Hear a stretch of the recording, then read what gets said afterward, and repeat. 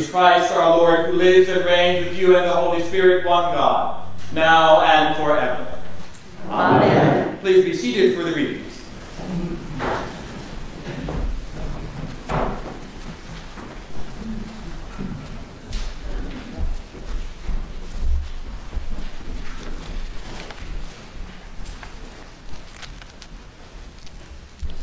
David became a king. He conquered Jerusalem, defeated the Philistines, and now he brings the ark to Jerusalem. A reading from 2 Samuel. David again gathered all the chosen men of Israel 20,000, 30,000. David and all the people with him set out and went from Baal Judah to bring up from there the ark of God which is called by the name of the Lord of hosts, who is enthroned on the cherubim. They carried the ark of God on a new cart and brought it out of the house of Abinadab, which was on the hill. Uzzah and Ahio, the sons of Abinadab, were driving the new cart with the ark of God, and Ahio went in front of the ark. David and all the house of Israel were dancing before the Lord with all their might, with songs and lyres and harps, tambourines and castanets, and cymbals. So David went and brought up the ark of God from the house of Obed-Edom to the city of David with rejoicing. And when those who bore the ark of the Lord had gone six paces, he sacrificed an ox and a fatling. David danced before the Lord with all his might. David was girded with a linen ephod. So the David and all the house of Israel brought up the ark of the Lord with shouting with the sound of the trumpet. As the ark of the Lord came into the city of David, Michal, daughter of Saul, looked out the window and saw David leaping and dancing before the Lord. She despised him in her heart. They brought in the ark of the Lord and set it in its place inside the tent that David had pitched for it. And David offered burnt offerings and offerings of well being before the Lord. When David had finished offering the burnt offerings and the offerings of well being, he blessed the people in the name of the Lord of hosts and distributed food among all the people. The whole multitude of Israel, both men and women, to each a cake of bread, a portion of meat, and a cake of raisins. Then all the people went back to their homes. The word of the Lord. Thanks be God. Psalm 24, We'll read it responsively by half verse. The earth is the Lord's, and all that is in it. The world help therein. For it is he who founded it upon the seas. And made it firm upon the rivers of the deep. Who can ascend the hill of the Lord? And who can stand in his holy place? Those who have clean hands and a pure heart. Who have not pledged themselves to falsehood, nor sworn by lies of fraud. They shall receive a blessing from the Lord. And a just reward. Such is the generation of those who seek him. Lift up your heads, O gates, lift them high, O everlasting doors.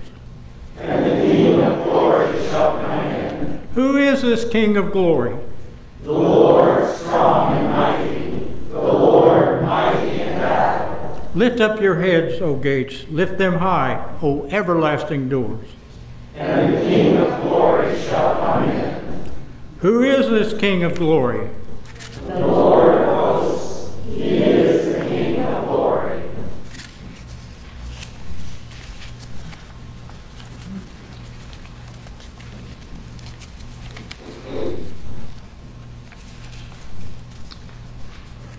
In this epistle, we have a prayer for spiritual blessing. A reading from Ephesians. Blessed be the God and Father of our Lord Jesus Christ, who has blessed us in Christ with every spiritual blessing in the heavenly places, just as he chose us in Christ before the foundation of the world, to be holy and blameless before him in love. He destined us for adoption as his children through Jesus Christ, according to the good pleasure of his will, to the praise of his glorious grace that he freely bestowed on us in the beloved.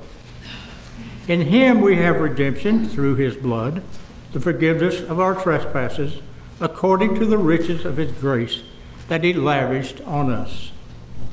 With all wisdom and insight, he has made known to us the mystery of his will, according to his good pleasure that he set forth in Christ as a plan for the fullness of time, to gather all things in him, things in heaven and things on earth. In Christ we have also obtained an inheritance, having been destined according to the purpose of him who accomplishes all things according to his counsel and will, so that we, who were the first to set our hope on Christ, might live for the praise of his glory. In him, you also, when you have heard the word of truth, the gospel of your salvation, and had believed in him, were marked with the seal of the promised Holy Spirit. This is the pledge of our inheritance toward redemption as God's own people to the praise of his glory. The word of the Lord. Thanks be to God.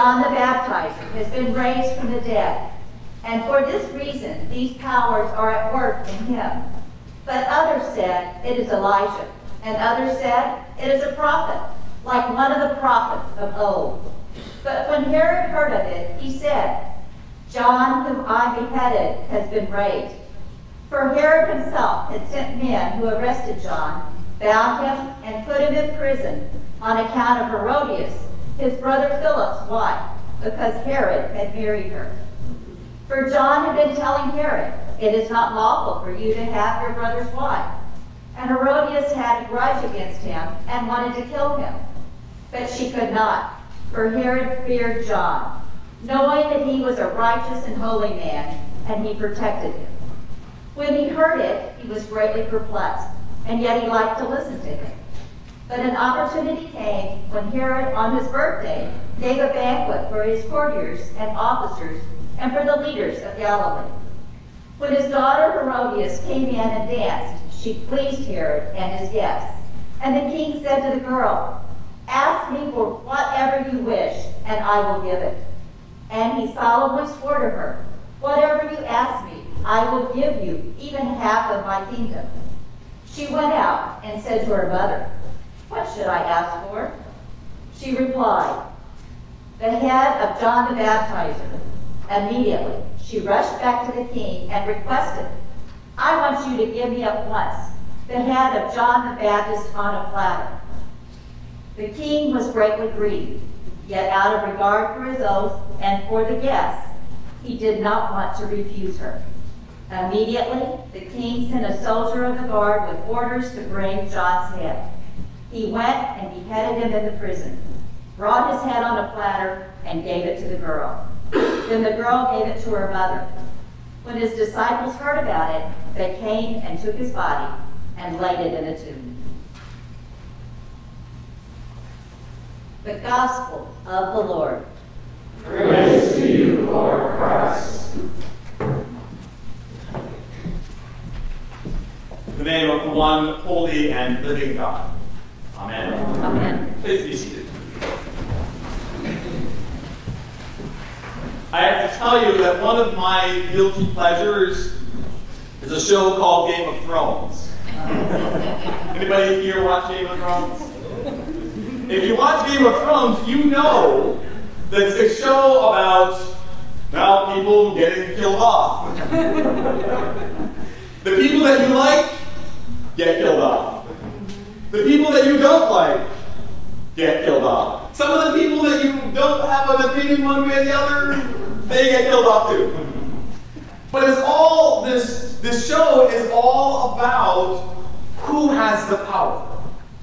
Who ultimately is going to become the ruler, the king, or the queen of the seven kingdoms. And the thing is, people are willing to do anything. Literally anything including throwing kids out of windows and you know having people beheaded. It sounds like mm, this morning's gospel, doesn't it? Talk about some good news. Can you imagine having a grocery store conversation after church this morning and saying, "So, what was the gospel this morning about?" Well, we were beheading some guy in prison and, and bringing his head on a platter. Talk about a nice, uplifting, fortifying gospel. You know, there are days sometimes when people will say to me, well, we have good biblical values, and I have to ask, have you read the book? have you actually read the book? because John's beheading this morning is part of our gospel. I am not quite sure if that is good biblical morals. But let's take a look at our gospel. This morning, our gospel begins with Jesus um, being brought to Herod's attention. Right? You, you're awake this morning. Okay, you can talk back. This is this is back and forth. So, so we begin the, this morning's gospel where the king has heard about this man Jesus. And the part that we don't hear in the gospel is the folks saying to him, "Well, we don't quite know who Jesus is." You know, someone says, "Well, maybe he's John the Baptizer brought back to life." Probably not. Maybe he's Elijah. Maybe he's a prophet. The question at the beginning of the gospel is who is this Jesus? And then we get into this narrative of well, maybe if he's not John, he can't be John the Baptizer because here's what happened to John. The king threw a banquet, a big feast, and he had all the important guests and everybody showing up. And as he's sitting there, he invites his daughter to come and dance. And she must have been really good at dancing. Because I don't know what kind of dance she did, and at the end he goes, I will give you whatever you ask for. I mean, that is definitely not the Macarena. Let's hope not. and it's certainly not the chicken dance. She did some kind of wonderful, you know, probably something like um, Elizabeth Taylor at Seven Dance in Seven Veils or something. But she did this amazing dance that somehow the king went, I will give you whatever you ask for. And of course, this is a little bit of plotting and conniving. So his wife was upset that John the Baptist had spoken out against them getting married. That's a sermon by itself. and she was trying to find some way, some way that she's just gonna, I need to just get rid of John. And so once the daughter had done this beautiful dance that the king said, I will give you whatever you ask for, she runs out and says to Mom, the king said that anything that I ask for, he will give me. What should I ask for? I'm thinking, you know, a whole new summer palace, maybe some dresses or something. Oh no. Mom sees the opportunity and goes, John the Baptist's head on the platter. Can you imagine the daughter going back into the room with the king and all the guests and saying, Well, how about John the Baptist's head on the platter? And the gospel tells us that the king didn't want to do it. But, and you listen to carefully what he said, out of regard for his oath and for the people, his guests, he fulfilled her request. So the king was shamed into doing what he thought was wrong. He had the opportunity to say, mm, no, let's not do that. But he did it anyway. So in comes the troop of soldiers with John the Baptist's head on a silver platter and hands it to his daughter. And the daughter promptly hands it over to the mom. And then I have to ask what happened to John the Baptist's head. You got the head, what do you do with it now? Sermon for another time. but the thing is, what's the good news in this gruesome gospel? Well, I am glad you asked.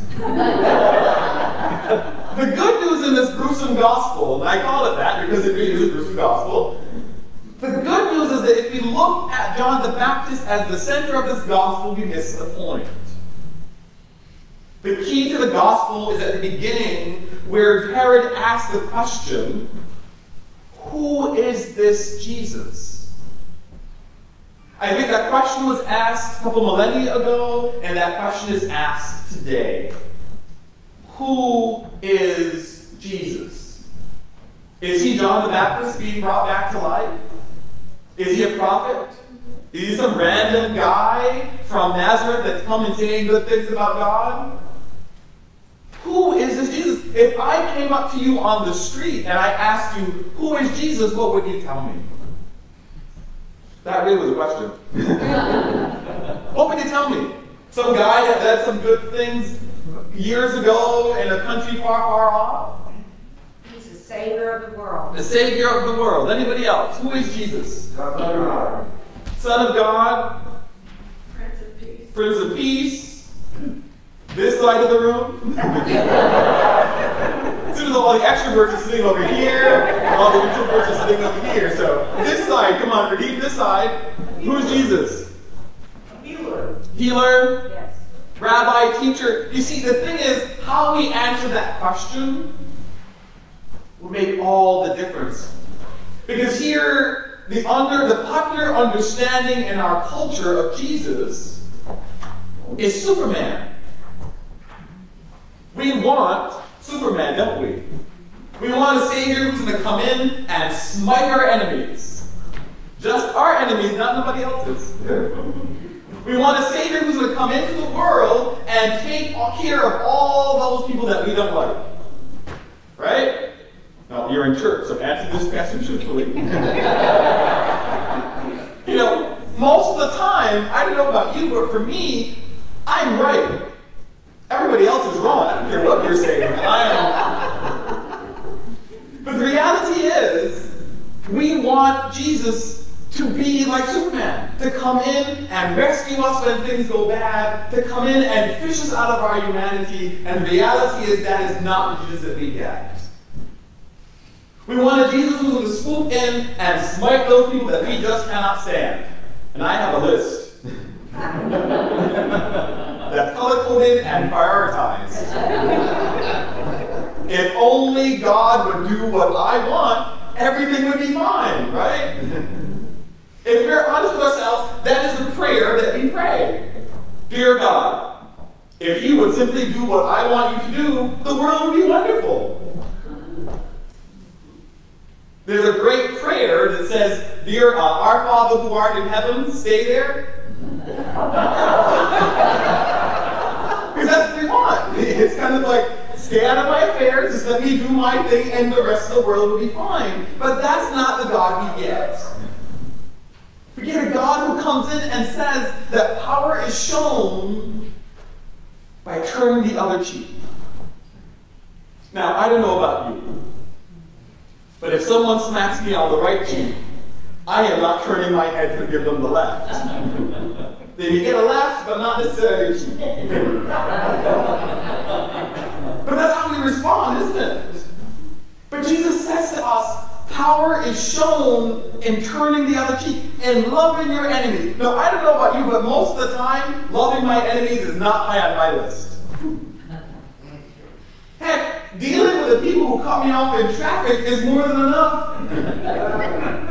Amen. Generally, there's a. I, well, you know what? My kid's here, so I'm not going to say that. Never mind. but the thing is, most of the time, that'll cover your ears. but most of the time, I have a hard enough time dealing with the people that I don't know, furthermore, the enemies that I have. And Jesus says to us, you must love those people. That's hard, isn't it? Yes. Okay, you're right. Thank you. like I said, you can talk back. But you don't know what those people had on their plate. exactly. You see, the thing about Jesus telling us that we must turn the other cheek, we must love our enemy, that the way that we show God's kingdom is by standing with the least and the lowest, is counter everything that we know. It goes against who we sometimes say that we are. We don't want to hang out with people who don't have power or authority. We want to hang out with people who are rich and important. And Jesus says that you find me best in the people who've been pushed to the side and neglected. Lord, when did we see you hungry or thirsty or naked or in prison and abandoned you? Because when you did it to the least of these, your sisters and brothers, you did it to me. Jesus says that power and authority and all the things of God's reign isn't found in the big and the flashy, but in the ordinary and the obscure. God's kingdom is not in the places of power and authority, but in humble service to each other. And if we are honest with ourselves, that is not the Messiah that we want. This is not the Jesus that we want, and it's certainly not the God that we want. We want a God who comes in with power and authority and smites those people that we don't like. We want a God that comes in with power and authority and takes us out of whatever it is that we are going through. But the reality is that is not the Jesus that we get. In our gospel for today, Herod is asking the question, Who is this Jesus? And people outside these doors are asking the same question. Who is this Jesus? And why does he matter? The reality is that you and I, we know what it means to have tragedy in our lives, do we not? Yes. We know what it feels like to hear bad news. Yes? We know what it feels like sometimes to feel down and out. We know what it feels like to be driven to our knees and going, Lord, why? But we also know what it means when someone picks us up. We know what it means when someone offers us a hug, a prayer, a kind word when we need it the most. Those are our Jesus moments. We tend to think that God has to break into our world and make it this big fanfare with angels going, ah. the reality is, Jesus enters our world not with a fanfare, but as a whisper. Not with power and authority, but in humble service. If we are truthful and honest with ourselves, that is not the Messiah that we want, but it is the Messiah that our world needs. Our world needs a Messiah that says to those who've been pushed to the side, You are beloved. Our world needs a Messiah that says to those who have been down and out and downtrodden, is that I will be with you every step of your way. Our world is the Messiah who says to us in no uncertain terms, no matter who you are, no matter where you're from, no matter who you are, who you love, you are loved and a beloved child of God, and he will treat you with dignity and respect. That is the Messiah that we get. That is the Jesus that we follow. Not one that comes with power and authority, not one who comes looking for the power of authority, but with the authority of love. That is who we follow. My sisters and brothers, our world is crying out for that Jesus. Our world is looking for a Jesus who reminds people that love will always have the final word no matter what. And here's the secret that I will share with you. The only Jesus that some people in this world will ever encounter is you. The only good news that some people in this world will ever have the chance to be around is you. It means that we must live lives that reflect the good news of God in Christ Jesus our Savior. It means that we must be willing to go into the places and be with people that the rest of society say are no good and should be pushed to the side. It means that we must follow Jesus and go hang out with the tax collectors and prostitutes and sinners, that we must go and hang out with the disreputable people in our society. Because Archbishop, as Archbishop Desmond Tutu once said, God has appallingly low standards. And I think he's right. Well, if you look through the scripture, geez, God doesn't call the best of everybody, does he? God usually calls the most ill equipped and sometimes the dumbest person in the room. Let's take Peter, for example. you know, I beat up on Peter a lot, but you know, Peter's my favorite apostle. Peter, I am convinced that Jesus called him the rock because he was dumb as one. I am convinced that Jesus said that you are the rock on which I will build my church because Peter's head was like a rock. Because Peter gets it wrong every single time. Do you know Jesus? Remember, the, the night before Jesus dies, courtyard of the great high priest, servant comes out, Aren't you with Jesus? Oh, nope, I don't know that man. Peter denies Jesus. Peter, you know, the one time, I take that back, Peter got it one, right once. Jesus asked Peter, Peter, who do people say that I am? And Peter finally gets something right. He says, You are the Messiah, the Son of God. And I love Jesus' response. Jesus says, Oh, Peter, you got it right. This did not come to you of your own, but of the Spirit working in you. Peter got it right because of somebody else, not because of himself. And if that can happen to Peter, how much more can it happen to us? This Jesus that we follow does not equip the called, he calls those who equips. We follow a God who will always call us to be better than we have been. A God who will equip us with everything that we need to be the good news in our world because my sisters and brothers, my siblings in Christ, our world needs good news. If you turn on the news in the evening, it is not good. When was the last time that you heard something really good happening on a 6 o'clock news? I don't know, but, but for, for me, most of the time, I, call, I wish they would just call it the bad news.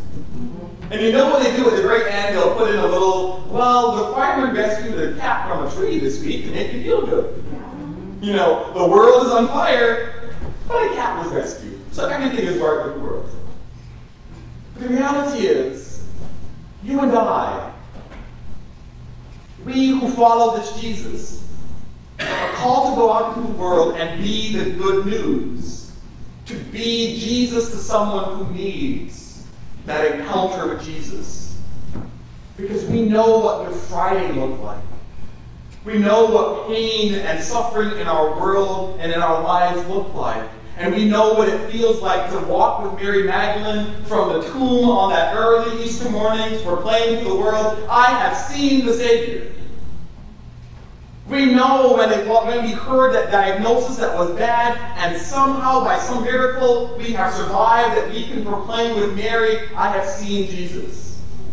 We know what good news looks like, my sisters and brothers, when that person showed up at your door with a casserole. We know what Jesus looks like when that person shows up and says to you, You are beloved and you are enough. Do we not? Oh, wait, that's a timid little yes. you are in church. You're supposed to be happy to be here this morning.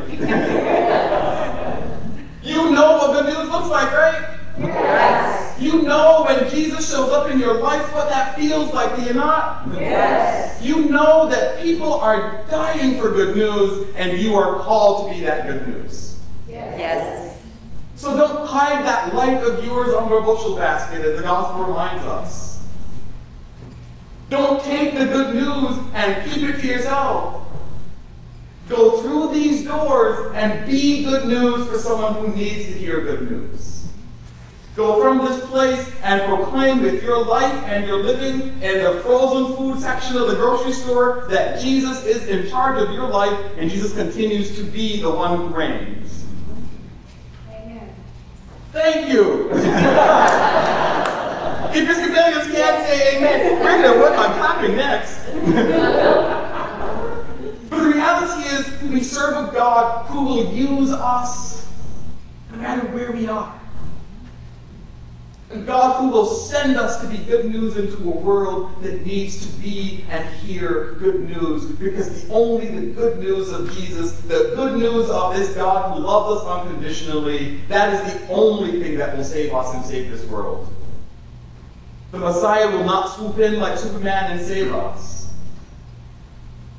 The persons to be sent into the world are you and me. And in the words of St. Francis, we must proclaim the gospel and to use words when necessary. You and I, my sisters and brothers, are called to be good news of God in Christ. That is what we're going to say to Julie in a few moments. When she comes forward to be confirmed, we're not doing something that somehow magically makes her an Episcopalian. What we're saying to her is that we are a community built on the hope of Jesus Christ, our Savior, and we are encouraging her to continue to be the good news in our world. We're inviting her to join with us to be the good and well received news you are enough. That God loves you. My grandmother would say to my brother and I, You are a beloved child of God go treat everybody else like they're beloved children of God. So I say the same thing to you. My sisters and brothers, you are the beloved children of God. You are the good news of God. Go treat someone else like they are the good news of God because our world needs you to be good news. And when you feel like you are faltering, and when you feel as though you're doubting yourself, and you feel as though things are not quite what they're supposed to be, Go in the words of the, of the uh, spiritual, go have a little talk with Jesus. Tell him all about your troubles. He will hear your every cry, and he will answer by and by. Because that is the God that we serve. I serve a risen Savior who's in the world today, who reminds us that He will walk with us and talk with us every step of the way. You know, we know these things. We know the hymns and the prescriptive readings that, get, that nourish and sustain us. Go use those to be the good news in this world. To remind people that God is in heaven and that when there is no way, God will make a way. That when we are down and out, God will pick us up and turn us around. Because here's the thing when good people of faith stand up, stupid sits down. and many times, in many places in our world, it's filled with a whole lot of stupid. when good people of faith stand up, bigotry sits down. When good people of faith stand up, racism sits down. When good people of faith stands up, all the isms and all the divisions in our world sit down because we need good people of faith who follow Jesus to stand up and be good news in our world. So, my sisters and brothers, if you remember nothing else from this sermon, remember this. You are called to be good news in the world. You are called by God's name for you, which is beloved. Go out into the world and treat others as if they are beloved children of God and be the good news. So that when you leave here, you smell like good news. You look like good news. You exude the good news of God in Christ Jesus our Savior. And so may God bless you, may God keep you, and may you go forth into this world to be the good news that our world desperately needs today, tomorrow, and always. Amen. Amen.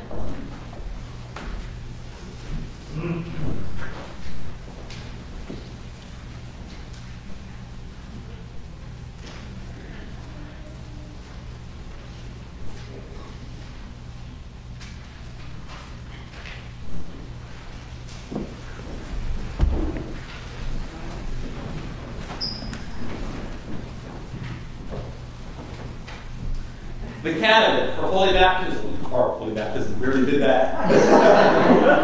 candidate for confirmation will now be presented. Just watch out, we might baptize you by accident. I present Julie Wittenborn Sikorsky for confirmation. Julie, do you reaffirm your wait, hold on. Let me put you right here. Here we go. Do you reaffirm your renunciation of evil? I do. Do you re- renew your commitment to Jesus Christ? I do. And with God's grace, I follow him as my Savior and my Lord.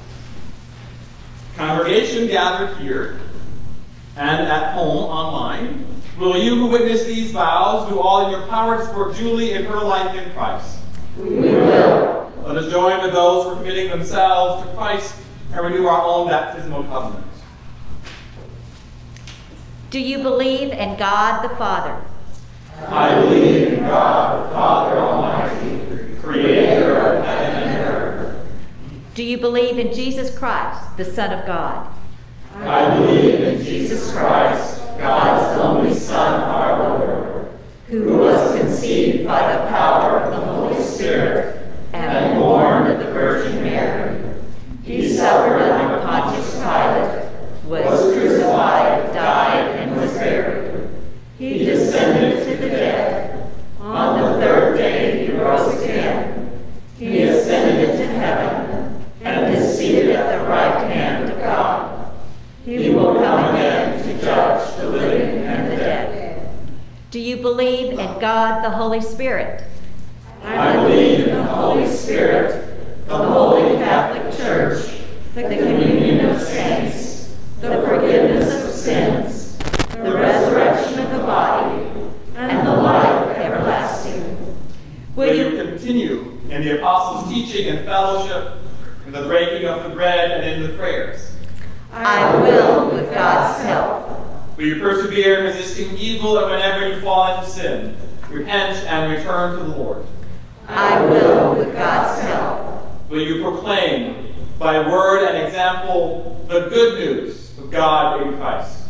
I will, with God's help. Will you seek and serve Christ in all persons, loving your neighbor as yourself?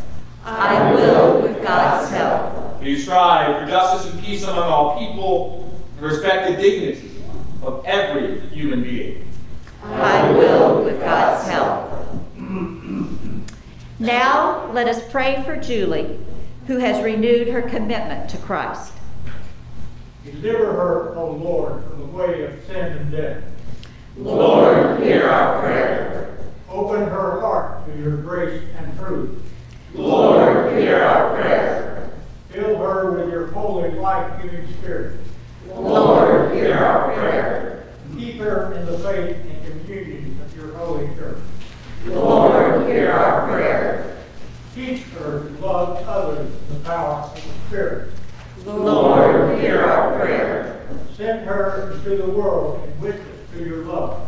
Lord, hear our prayer. Bring her to the fullness of your peace and joy and glory. Lord, hear our prayer.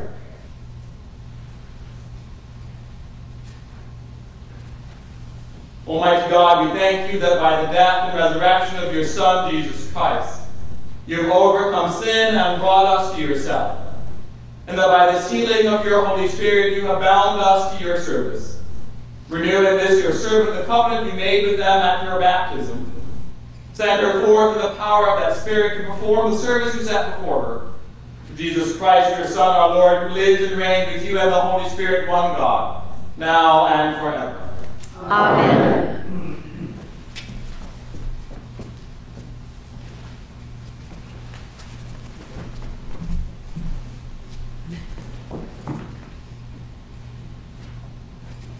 Strengthen, O Lord, your servant Julie with your Holy Spirit.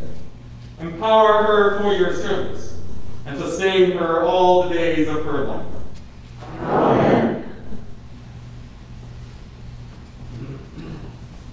Let us pray. Almighty and ever-living God, let your divine hand ever be over this your servant. Let your Holy Spirit ever be with her, and so lead her into the knowledge and obedience of your word, that she may serve you in this life and dwell with you in the life to come. Through Jesus Christ our Lord. Amen. Julie, can you come join me? The peace of Christ be always with you. And also with you. Let us share a sign of Christ's peace. And peace be with you. Peace be with you. Peace be with you. And peace be with you.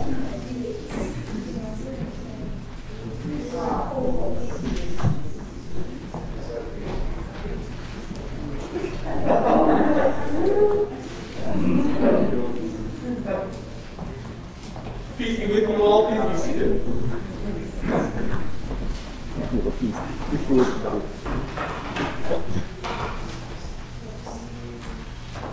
Are there any announcements in that? Are there any announcements? Just um, to let you know, I'm going on vacation. Hopefully, things are taken care of. I've tried to get every detail. I missed a few a little bit. Um, also, Vacation Bible School starts after I come back. It's the 9th through the 13th. We will meet again as a group once I come in on the Wednesday that I come in, which I believe is the 4th. And we will meet that night at 6 o'clock um, to prepare. So, Bruce and William, I plan to see you, and Camille. Um, yes. and uh, get you all together, and we'll do our final run through of the days because I did switch them around a lot when I looked back at it. So, we need to go over that and just make sure that's tightened up. Um, after the service, we will be getting having a little reception with some food. Um, you're invited to come join us right straight across the way. Um, so please join us in celebrating with Julie this special occasion. And now we'll hear from our quartet. Well, before we do that,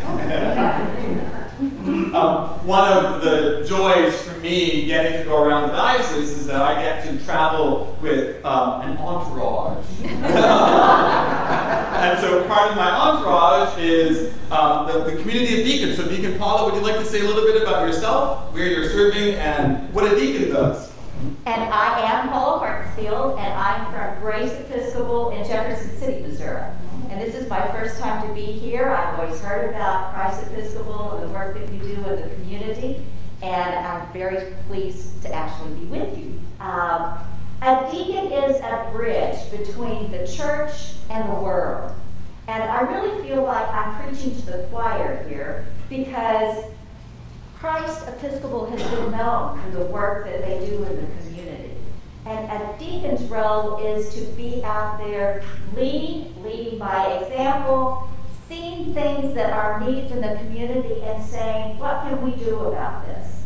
And so I encourage you to look around to see who has gifts uh, that could be a deacon for you because it's our bishop's uh, goal to have a deacon in each one of our parishes. And I think it's particularly, I think he is showing me his desire for that and that he asks the deacon to be with him when he makes a parish visit if there's not already a, par- a deacon in that parish. So, and I look forward to being with you at, during your coffee hour. Thank you. Um, and uh, during our time of socialization afterwards, um, there'll be some opportunities if you would like to have some Q- and a with me afterwards. Um, so I invite you to bring on your hard questions. the good thing is if I don't know the answer, I can just send them back to um, Reverend Annette. So she gets all the hard questions, I'll take the easy ones. Well, and I'm thrilled that you're going off on vacation. Um, I can safely say one of the challenges during this time of pandemic is that our clergy have been doing, our clergy and lay leaders have been doing over and above um, what was expected of them pre-pandemic. I mean, I don't think Reverend Annette never ever thought that she would be a televangelist at any time in her life. Um, here we all are online, on, on, on Zoom, on Facebook Live, all this stuff, um, and it takes a toll. So here's what I'm going to ask you to do. When Reverend Annette is off on vacation, don't call her.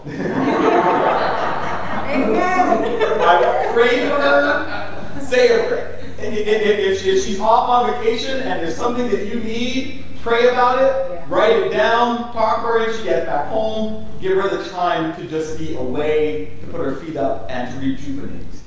I often say that Jesus can go off and put his feet up for a time. I am not Jesus, so I need some time to go put my feet up and be away as well. So um, it is a gift that you give her to be away and to rejuvenate herself. So I invite you to, to give her that gift. I can't think of anything, uh, any other announcements or anything? Okay, well, walk in love. As Christ loved us and gave himself for us, an offering, a sacrifice to God. Now we're done.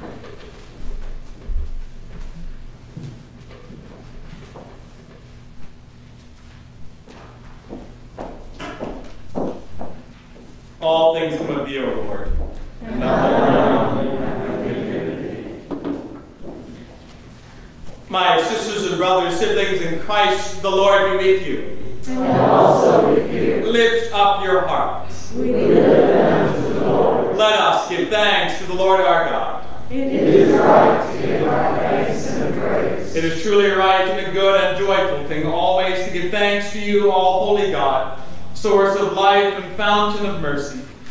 All thanks and praise are yours at all times and all places, our true and loving God. Through Jesus Christ, the living Word, the wisdom from on high by whom you created all things. You laid the foundations of the world and enclosed the sea when it burst out from the womb. You brought forth all creatures of the earth and gave breath to humankind. Wondrous are you, Holy One of blessing. All you create is a sign of hope for our journey. And so, as the morning stars sing your praises, we join the heavenly beings and all creation as we shout for joy.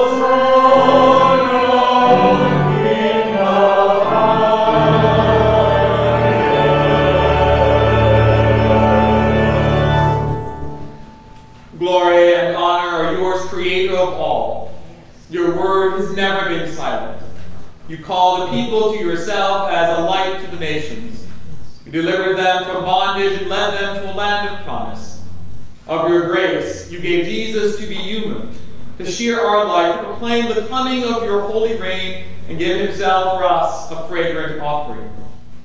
Through Jesus Christ, our Redeemer, you have freed us from sin, brought us into your life, reconciled us to you, and restored us to the glory you intend for all.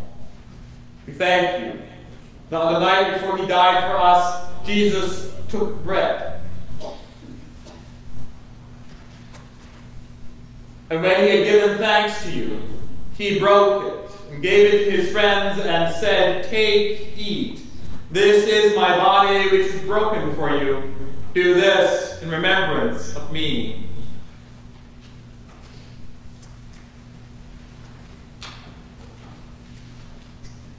After supper, Jesus took the cup of wine, said the blessing, and gave it to his friends and said, Drink this, all of you. This cup is the new covenant in my blood poured out for you and for all for the forgiveness of sins. Do this, the remembrance of me.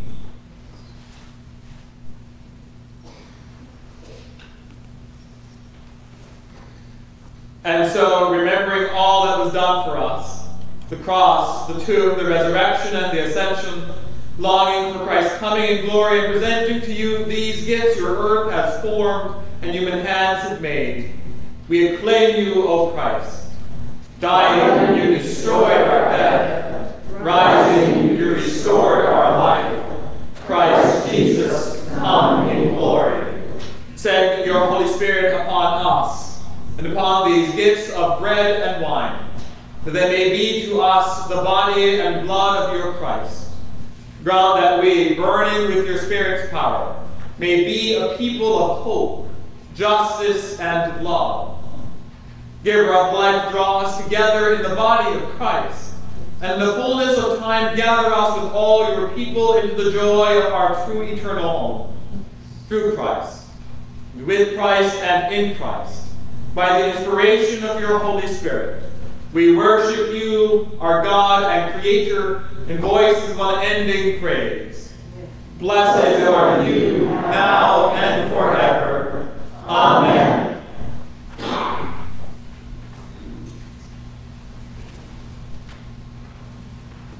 And now, as our Savior Christ has taught us, we now pray. Our Father, who art in heaven, hallowed be thy name.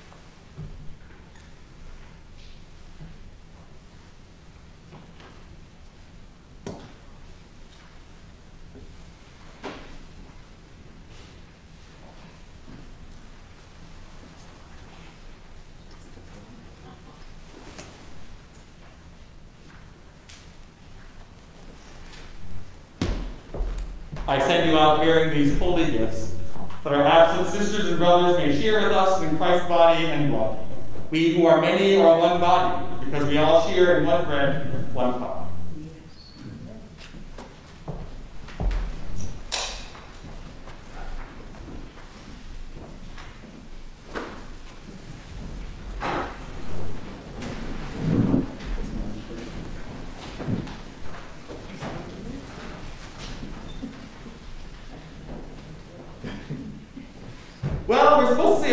in prayer.